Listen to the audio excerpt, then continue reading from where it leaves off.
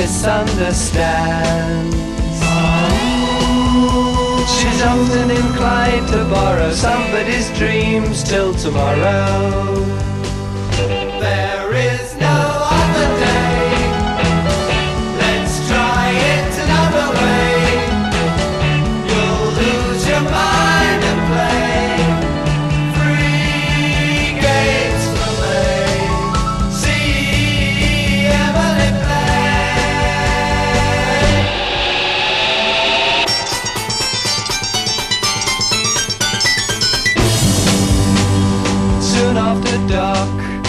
Emily cries.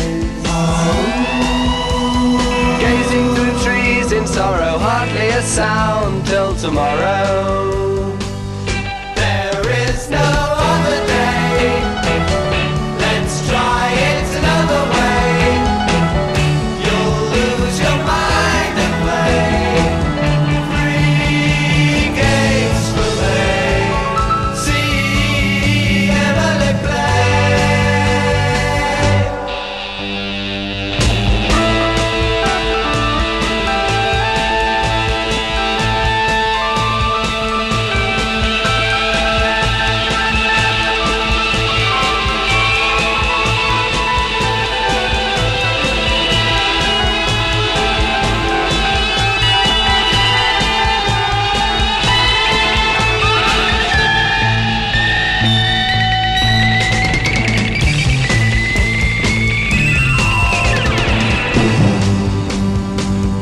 On a gown that touches the ground.